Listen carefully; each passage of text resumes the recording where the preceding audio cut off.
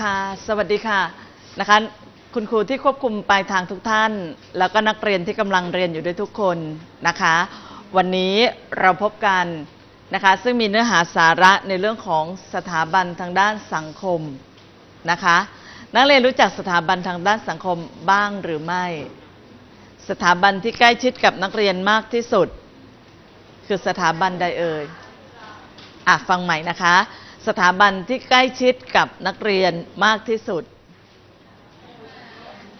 สถาบัน สถาบัน ใกล้ชิดผูกพันกับนักเรียน ถูกต้องสถาบันครอบครัวนะคะ ในแต่ละวันนักเรียนใช้ชีวิตอยู่กับสถาบันใดมากที่สุด ในแต่ละวันนักเรียนใช้ชีวิตอยู่กับสถาบันใดมากที่สุด สถาบันการศึกษา นักเรียนกลับไปถึงบ้านตอนเย็นเนี่ยกี่โมงคะหกโมงหกโมงเย็นใช่ไหมคะ18นาฬิกานะคะ ออกจากบ้านหกโมงเช้านะคะ ใช้ชีวิตอยู่กับครอบครัวนานไหมไม่นานนะคะ จาก 6 โมงเย็นหรือว่า 18 นาฬิกาอาจจะใช้ชีวิตอยู่กับครอบครัวหลังจากรับประทานข้าวร่วมกันคุยกันเสร็จเรียบร้อยแล้ว ดูทีวีร่วมกันเล็กน้อยสามทุ่มสามทุ่มครึ่งอาจจะแยกย้ายไปนอน พอตื่นเช้ามา 6 โมงนะคะ รีบแต่งตัวอาบน้ำมาโรงเรียน เจอหน้าพ่อแม่นานไหมไม่นานนะคะ ใช้ชีวิตอยู่อย่างนี้ เพราะฉะนั้นแต่ละวันนั้นชีวิตของนักเรียนอยู่กับสถาบัน การศึกษาเป็นส่วนใหญ่นะคะ นอกจากสถาบันการศึกษาสถาบันครอบครัว ยังมีในเรื่องของสถาบันที่เกี่ยวกับสังคมอีก ซึ่งเดี๋ยวเราจะมาทำความเข้าใจกันนะคะพร้อมไหมคะค่ะ เรียบร้อยแล้วเรามาดูหัวข้อนะคะ หัวข้อสำหรับวันนี้จะเป็นเรื่องของสถาบันครอบโทษทีสถาบันทางสังคมนะคะ สถาบันทางสังคม ตัวชี้วัดนะคะ หลังจากที่นักเรียนเรียนเนื้อหาสาระเรียบร้อยแล้วในส่วนของตัวชี้วัดนะคะ นักเรียนจะต้องรู้และเข้าใจสถาบันทางด้านสังคมและปฏิบัติตนได้อย่างถูกต้องเหมาะสมนะคะ รู้และเข้าใจสถาบันทางด้านสังคม และสามารถที่จะปฏิบัติตนได้อย่างถูกต้องเหมาะสม นะคะเป็นตัวชี้วัดที่เราจะทำความเข้าใจกัน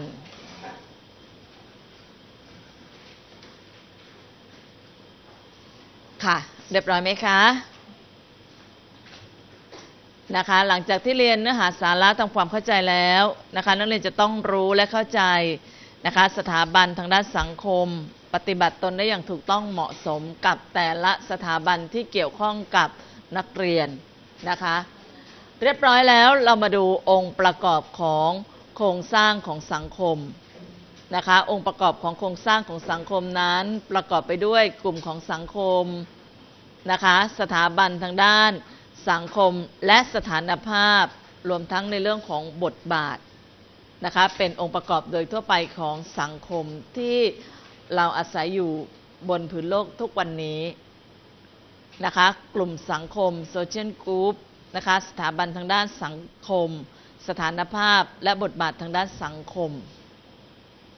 นะคะเป็นองค์ประกอบของโครงสร้างทางสังคม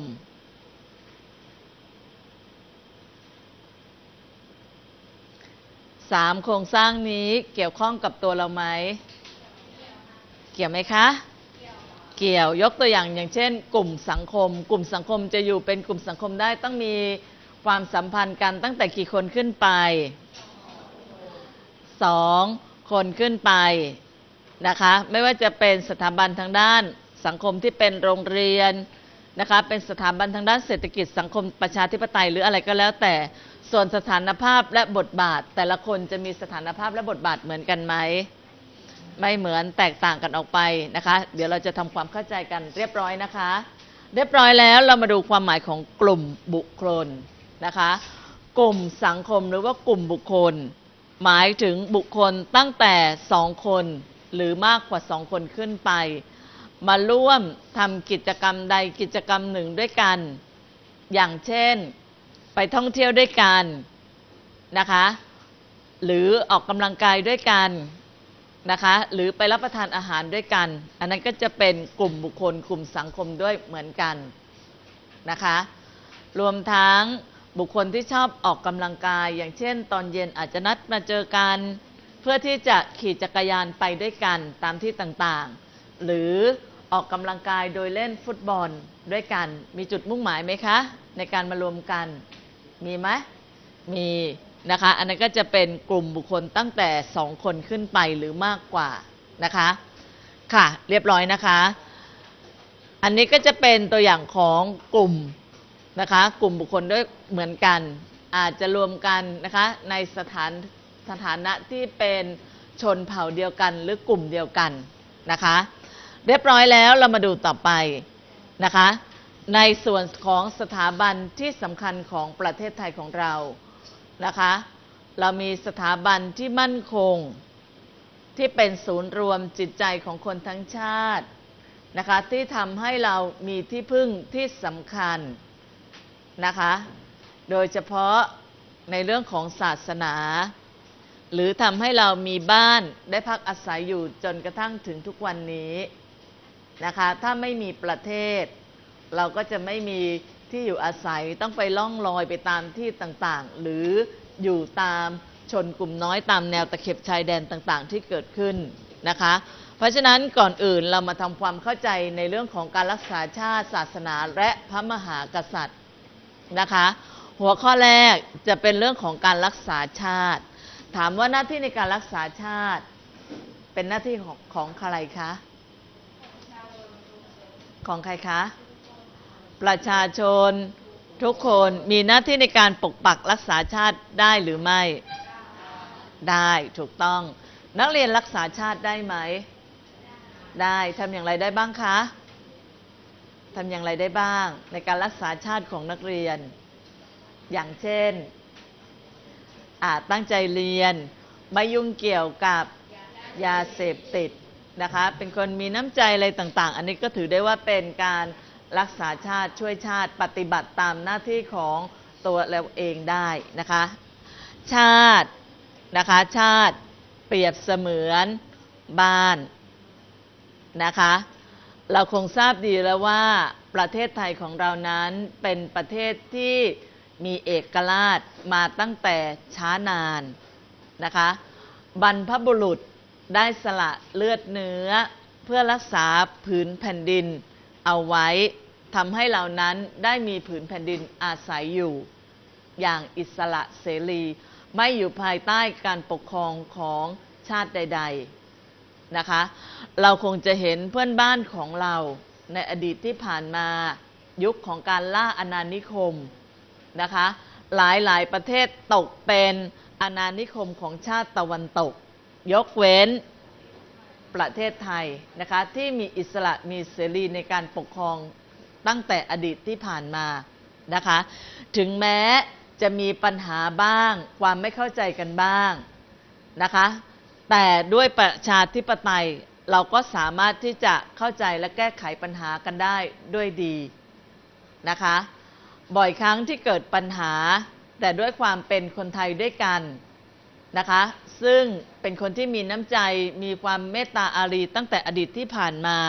เราก็สามารถที่จะแก้ไขปัญหาต่างๆ จนกระทั่งมีประเทศไทยในแผนที่โลกปรากฏอยู่ ถึงแม้จะขนาดเล็ก แต่ก็อยู่อย่างภาคภูมิใจมาจนถึงทุกวันนี้นะคะ แล้วก็เป็นหน้าที่ของเราที่จะต้องปกปักรักษาต่ออีกต่อไปนะคะ ซึ่งหน้าที่ในการรักษาชาตินะคะ ตามแนวชายแดนนะเป็นหน้าที่ของบรรดาทหารนะคะ ซึ่งเปรียบเสมือนเป็นรั้วของชาติรั้วของบ้านที่คอยปกปักไม่ให้ศัตรูภายนอกเข้ามาลุกล้ำอำนาจอธิปไตย นะคะ หลายคนที่ต้องสละชีวิตตามแนวชายแดนให้เราอยู่อย่างสุขสบายนะคะ เพราะฉะนั้นจึงเป็นหน้าที่ที่เราจะต้องปฏิบัตินะคะ นอกจากนะคะหน้าที่โดยตรงที่จะรักษาชาตินะคะที่เป็นหน้าที่ของเหล่าทหารนะคะ ประชาชนเองก็มีส่วนในการรักษาชาติได้เหมือนกันอย่างเช่น ตัวอย่างในภาพทำอะไรคะ ทำนาข้าวประกอบอาชีพด้วยความซื่อสัตย์สุจริตนะคะ ได้เงินมาด้วยความซื่อสัตย์สุจริต อันนี้ก็จะเป็นการรักษาชาติได้ด้วยเหมือนกัน เมื่อเก็บเกี่ยวผลผลิตได้ ก็ส่งข้าวที่ได้นั้น ไปเป็นสินค้านะคะ ตัวของชาวนาเองก็มีเงินได้ที่จะไปจับจ่ายใช้สอย ส่วนหนึ่งก็ไปเสียภาษีนะคะ ภาษีที่ได้ก็มาพัฒนา ท้องถิ่นประโยชน์ก็เกิดขึ้นกับประชาชนอีกเหมือนกัน